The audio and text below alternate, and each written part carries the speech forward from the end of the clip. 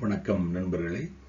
குரலமதம் என்ற நிகழ்ச்சியில் புறங்கூறாமை எனும் அதிகாரத்தில் வரும் ஒரு குரல்.